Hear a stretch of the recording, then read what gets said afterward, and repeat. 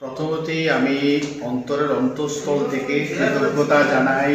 আমার শিলচর লোকসভা এলাকার প্রত্যেকজন আমার গ্রাসরুট লেভেলের কংগ্রেস কর্মী।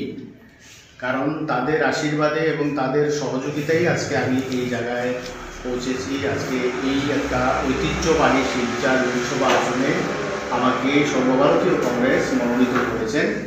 এবং ধন্যবাদ জানাই আমার শিলচর জেলা কংগ্রেস কমিটির মাননীয় সভাপতি অভিজিৎ পাল প্রদেশ কংগ্রেস কমিটির সভাপতি ভূপেন বরাজি, দেবব্রত সৈকাজি রকিবুলজি সহ প্রদেশ কংগ্রেসের প্রত্যেকজন কর্মকর্তা, বিশেষ করে আমাদের আনোয়ার হোসেন সাহেব, প্রদেশ কংগ্রেস কমিটির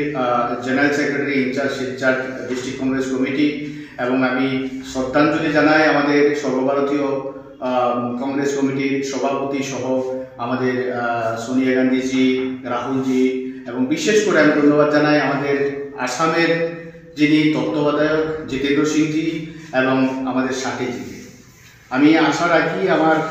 উপরে যেরকমভাবে বিশ্বাস রেখেছে দল, আমি এটা বিশ্বাস করি,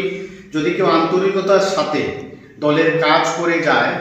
কাজ, দল যে পুরস্কৃত করে, এটার থেকে আমি মনে করি আগামী দিনে আমার দলের যারা গ্রাসরুট লেভেলের যুবা কর্মীরা আছে, তারা অনেকটা উৎসাহিত হবে এবং আমি